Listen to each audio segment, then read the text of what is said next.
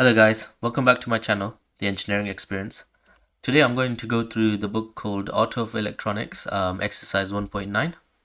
Um, this exercise um, asks you to work out a method for measuring small leakage current resistances, which can be in the region of 100 megohm plus.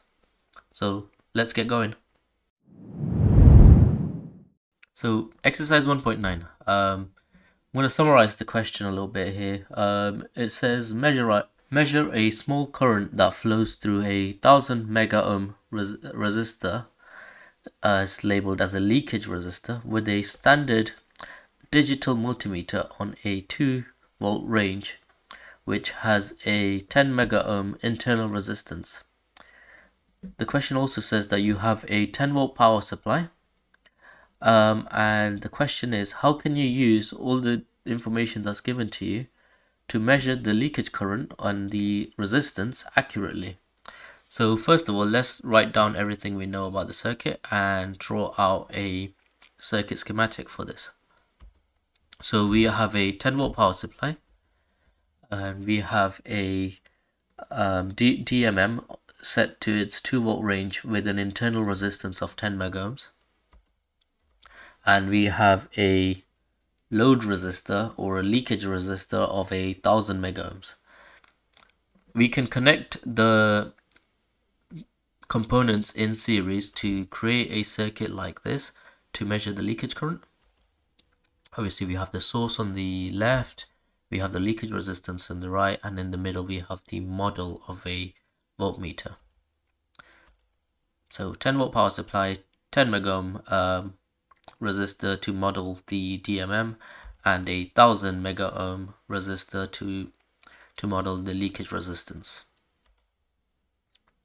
So first of all, using Kirchhoff's current law, we know that current going through here is the same across all components. So current in the loop from here is the same. So we can say I in and giving these components a label we can say the, the, the voltage across the multimeter or DMM I'm going to call RM and the voltage across the leakage resistance I'm going to call VL so we know that IN is equal to the current through I, um, this resistor here I'm going to call M, IM and the current through this resistor RL is also the same. So IL so IN is equal to IM which is also equal to IL due to Kirchhoff's current law. Now using uh, Kirchhoff's voltage law, we can say um, that the voltage across the load resistor RL or the leakage resistor RL is equal to Vs, so our 10 volt power supply minus the voltage drop across um, the resistor um, Rm. Notice that the circuit is basically a voltage divider with two known resistances. So we know the resistance of the meter is 10 mega ohms. We know the leakage resistance is a thousand mega ohms. When, when we use this technique, the voltmeter itself, basically this resistor here, makes up uh, one, one part of the potential divider. And the voltage across the leakage resistor obviously we cannot measure directly as it's going to be very small so we can use Kirchhoff's voltage law.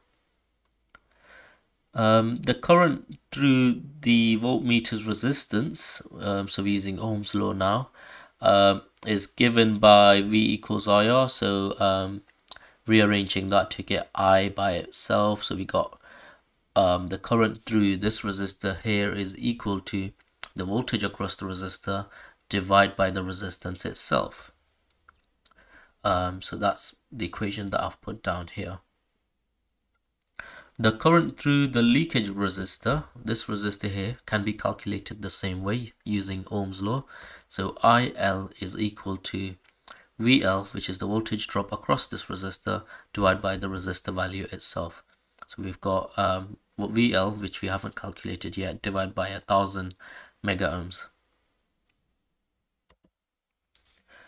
From Kirchhoff's current law, we know that Im and IRL are equal.